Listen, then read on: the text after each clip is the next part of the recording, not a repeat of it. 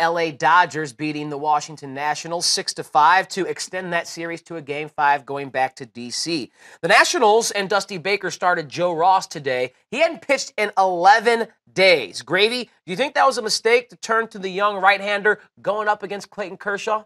Well, I mean, I think it's easy to, to second guess Dusty's move now that he didn't go deep into the game. But, you know, listening to what Dusty said pregame, he basically picked Joe Ross because it was between him or Reynaldo Lopez.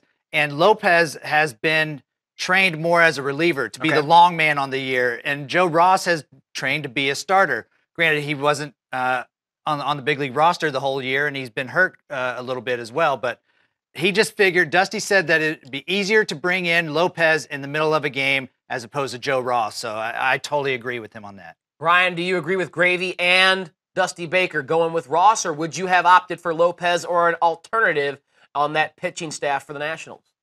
Well, this is getting nitpicky because, as uh, Gravy said, look, there weren't really a whole lot of great options here. Uh, and not that Joe Ross isn't a good option, it's just that he's been coming off of an injury. He only threw nine and two thirds innings in the last three months of the season, basically, then had 11 days off.